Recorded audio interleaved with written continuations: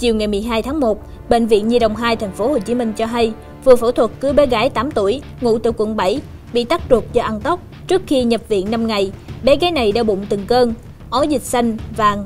Gia đình đưa bé đến điều trị tại phòng khám tư nhưng không giảm, triệu chứng trên lại càng tăng dần. Tại bệnh viện, bé gái được chỉ định phẫu thuật khẩn cấp ngay trong đêm do tắc ruột. Trong quá trình phẫu thuật, các bác sĩ phát hiện một búi tóc rất to ở đoạn ruột non làm tắc nghẽn đường ruột. Rất may chưa có hiện tượng thủng ruột. Theo bác sĩ Nguyễn Hiền, khoa ngoại tổng hợp bệnh viện Nhi đồng 2, bé gái nêu trên mắc phải hội chứng Rapunzel. Người bệnh thường có biểu hiện ăn tóc chính mình hoặc người khác, khiến cho tóc bị rối và mắc kẹt trong dạ dày, ruột, lâu ngày gây tắc, thủng ruột.